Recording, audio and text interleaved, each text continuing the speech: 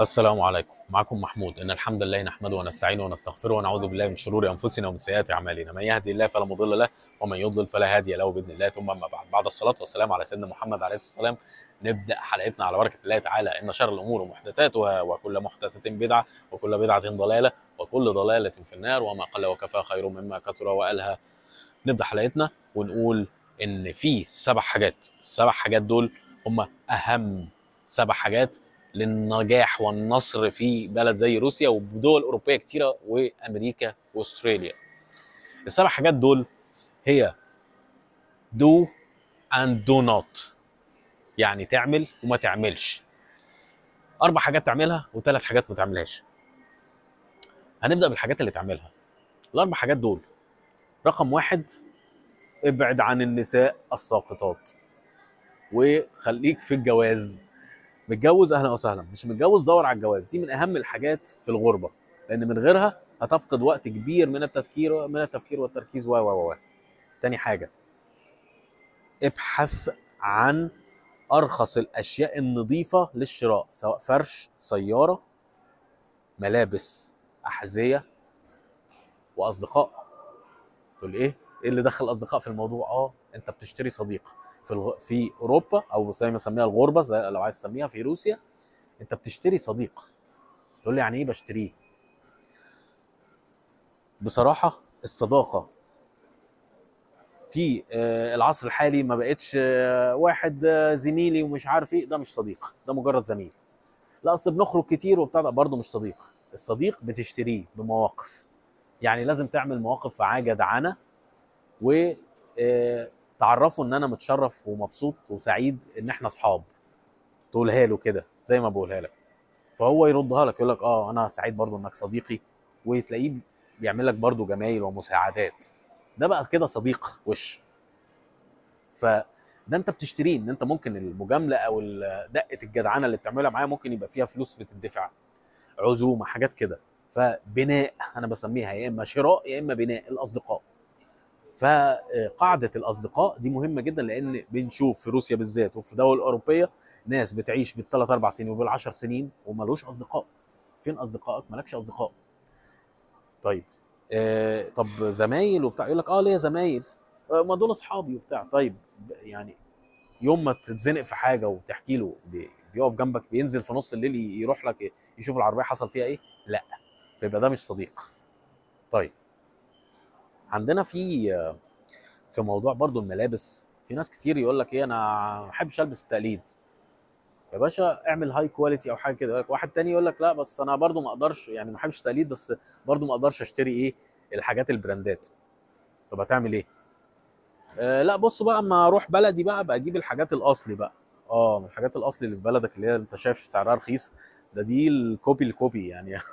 أنت فكرك اللي في بلدك ده الأصلي؟ هو في حاجة اصلي ب 100 جنيه؟ في إيه يا عم أنت؟ ففي ناس تضحكك يعني في الموضوع ده فاللي هو لا إلبس يعني في أمريكا مثلا في حتت فيها outlet في تركيا فيها محلات outlet في هنا في روسيا. ال outlet يعني ممكن حاجات اللي هي مثلا موديل السنة اللي فاتت بس برضه هو ال brand وأصلية وكل حاجة ولكن بنص سعرها. فبيعمل breakdown بيعمل سعر في الأرض فالحاجات دي لقط تشترى. الأمريكان بيعملوا كده الأوروبيين بيعملوا كده في عرب كتير بيعملوا كده. اعمل زيهم. اشتري حاجة نظيفة محترمة بس مش لازم تكون موديل السنة دي موديل من سنتين بس الأصلي. لو ال copy بتاعتها كويسة برضه نجيبها مفيش مشاكل. ما دام حالتها كويسة ما يكونش فيها défaut يعني الحاجات اللي فيها ديفوهات برضه ناس بتشتري وما تعرفش إن فيها défaut فيلاقي القميص مقطوع من هنا ومش عارف حاجات كده يفاجئ بقى ويبقى عايز يصلحها ويكلف عليها. طيب. إحنا كده خلصنا الحاجة الثانية الحاجة الثالثه بقى. الحاجة اللي لازم تعملها هو إزاي اتعلم إزاي اعمل فلوس في البلد. يقول لي آه أشتغل أعمل فلوس. لا غير الوظيفة. بيزنس حاجة تتباع وتشترى. زي ما بتتعلم أول ما بتيجي آه، الأكل فين؟ الملابس فين؟ إزاي تصرف؟ آه، طب أنا عايز أعمل اشتراك الأتوبيس. برضه صرف كل ده صرف. طيب الحاجة اللي توفر عليك وما تدفعش أو حاجة اللي هي آه، هي اللي تدفع لك بتتعلمها. فهي دي الحاجة الوحيدة اللي ما حدش بيعلمك إنك تعملها. فأنا كمحمود بقول لك في الحلقة النهارده اتعلم دي لو سمحت. كل بلد وليها الحاجات اللي بتطلع فلوس فيها. فقعد يقول لك يعني إيه أعمل زي محمد هنيدي كده park park park للعجلات مثلا. آه ممكن تعمل كده. why not اتعلم تعمل فلوس. يقول لك ماشي آه مع الوقت هتعلم. من أول أسبوع حضرتك اتعلم وشوف الناس اللي بتعمل فلوس بتعملها إزاي. على السكيل بقى اللي يعجبك على مستوى البارك على مستوى تنظف أرض على مستوى تلمع سقف على مستوى إنك تعمل ملايين زي ما أنت عايز. برضو تشوف الإعلانات. معظم الاعلانات بتتكلم على إيه؟ أنا بديك بس هنتس كده على حاجات فتحت أبواب رزق الناس. طيب أما بتخش على اليوتيوب والفيسبوك والحاجات دي الإعلانات معظمها اللي بتطلع لك عاملة إزاي؟ وبراندات إيه؟ ما دام شركة بتعمل إعلانات كتير يبقى هي محتاجة الدعاية دي قوي محتاجة تزود مبيعاتها قوي. يبقى تروح تتواصل معاهم وتحاول تبيع لهم حاجة إذا كانت حاجة حلال. أو تشوف الشركات المناظرة وتحاول آه، تخليهم يطمعوا زي دول في مبيعات أعلى عن طريقك. بفتح لك بس إيه حاجتين صغيرين كده. نخش على النقطة الرابعة. ولو كان ولو إن النقطة الثالثه دي هي أهم نقطة في السبعة كلهم. ما ينفعش أفوتها كده بس طبعا حاجات إنك إزاي تعمل فلوس ده بحر كبير وعامل لها حلقات لوحدها. فخلينا في النقطة الرابعة. أهم حاجة في الفترة الأولى إنك تسكن في مكان كويس. واحد يقول لك لأ بس الفترة الأولى أنا ممكن آخد حتة قليلة وبعد لأ هتعيش فيها على طول هتستحلى حاجة قليلة وحاجة رخيصة وحاجة تعبانة هتقول لا لا بس هتستثقل إنك تعيش في حتة نظيفة. لكن اللي بيروح يعوش يعيش في حتة نظيفة من الأول ويضحي ب 150 دولار ولا ب 200 دولار زيادة في في الشهر هتفرق معاه ملايين في المستقبل. اسمع مني. اللي بينقي مكانه في البلد من الأول بيعيش مرتاح في حاجات كتير قوي بعدين. فمكان سكنك مهم جدا. حتى لو عايش في هوستل حتى لو عايش في في, خم... أقول لك إيه في حاجة خن في غرزة يعني حاجة رخيصة جدا تعبانة ولكن في منطقة نظيفة في منطقة راقية في منطقة مهمة مهمه قوي منطقة السكن في الفترة الأولى. فدي الحاجات اللي لازم تعملها أول ما بتروح روسيا أو أي دولة أوروبية أو أمريكا أو أستراليا أو كندا. طيب ما تعملش إيه بقى؟ طبعا اللي قلنا عليه ده تعمله أكيد العكس بتاعه ما يتعملش. لكن في حاجات ثلاثة تانيين أهم منهم بقى ما تعملهمش. أهم حاجة تعملها في البلد الغربة هي إنك أنت ما تصرفش كتير على الأكل. يقول لك إيه؟ أجوع. لأ. كل المعقول. ولكن ما تصرفش كتير على الأكل بأي شكل من الأشكال لأن دي آفة العرب. بيروح أول ما بيكتشف إن في مطاعم إسلامية بيروح للراجل فطار وغدا وعشاء. ده غير السوبر ماركت بيشتري منه شوية حاجات برضه. لو لقى سوبر ماركت بيبيع حاجات من اللي هي بتاعتك أنت بقى بتاعت بلدك. زيتون بقى وزعتر وحمص. يا باشا وتقعد تخزن في البيت وبتاع لأ تلاجتك لازم تبقى فاضية ما فيهاش غير لبن وحاجات بسيطة. خلاص؟ طيب. الأكل بيجيب وخم. يعني تاكل كتير تنام كتير تفكر قليل تعبد ربنا قليل تخسر كتير. إيه رأيك؟ تاني. تاكل كتير تنام كتير تفكر قليل تعبد ربنا قليل تخسر كتير. الحتة دي لازم أقولها وأنا قاعد عشان حاجة محترمة جدا ودي أهم حاجة لازم تكون حطها حلقة في ودنك. الحاجة التانية لا تفرط في الرياضة. واحد يقول لي إيه؟ ده الفتنس ده حاجة كويسة وبتاع ده ده أنت ما قلتليش أهتم بالرياضة في الأربع حاجات الأولانيين. جاي تقول لي ما ألعبش رياضة كمان. يا أخي ده أنت كده خربتها خالص. لا لا يا باشا.